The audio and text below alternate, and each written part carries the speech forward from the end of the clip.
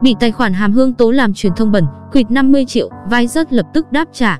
Thời gian vừa qua, tài khoản Facebook có tên Hàm Hương trở thành cái tên gây sóng gió trên mạng xã hội khi thường xuyên bình luận dưới các bài đăng của người nổi tiếng với thái độ cố tình kích vua.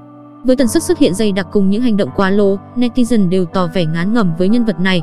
Sáng ngày 16 tháng 2, Hàm Hương bất ngờ đăng bài tố streamer vai rất xúi dục cô làm truyền thông bẩn, quỵt 50 triệu đồng. Cụ thể, nickname Hàm Hương đã nói về việc vai rất thuê mình với giá hơn 100 triệu đồng để kết hợp công ty vai rất làm truyền thông bẩn để hạ nhiệt cho một scandal cho ca sĩ A. Tài khoản Hàm Hương cũng nhấn mạnh, đây chính là lý do mà tài khoản này đi cà khịa rồi gây gua với hàng loạt cái tên nổi tiếng trong Vbiz. Tuy nhiên sau đó, người dùng có nickname Hàm Hương nói rằng mình đã không nhận đủ số tiền mà công ty nam streamer đã đưa ra trước đó với lý do Hàm Hương làm việc không hiệu quả. Cuối bài đăng, tài khoản mạng này cho biết cô đã chính thức bị cho thôi việc tại đơn vị truyền thông mà mình đang làm. Đồng thời gửi lời xin lỗi tới các nghệ sĩ mà mình vô tình đụng phải trong thời gian qua.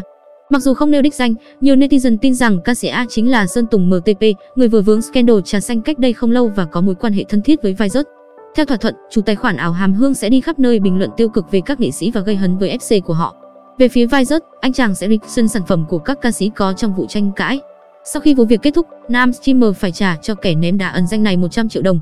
Tuy nhiên, virus đã không trả phần 50 triệu còn lại cho cô nàng vào mùng 4 Tết như hứa hẹn, dẫn đến sự xuất hiện của bài phốt dùng beng nói trên.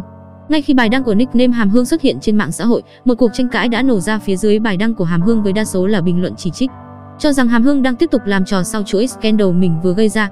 Nhiều ý kiến chia sẻ rằng tài khoản Hàm Hương lại tiếp tục đụng tới virus vì cái tên này đang hot, đồng thời mượn nước để xin lỗi nghệ sĩ mà thôi. Trước lời tố cáo nam streamer lợi dụng mình để làm trò trước truyền thông cũng như quỵt tiền, tài khoản Hàm Hương đã nhận về vô số gạch đá từ dư luận. Khi được người hâm mộ báo cáo, vai đã phủ nhận lời bài phốt nói trên. Anh khẳng định mình không rảnh để đi quỵt tiền.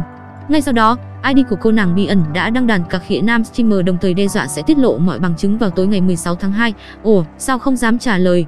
Hẹn mọi người tối nay, đầy đủ hình ảnh, chi tiết tin nhắn, cuộc gọi. Tuy nhiên, bài đăng đã bị chính chủ xóa đi sau ít phút đăng tải.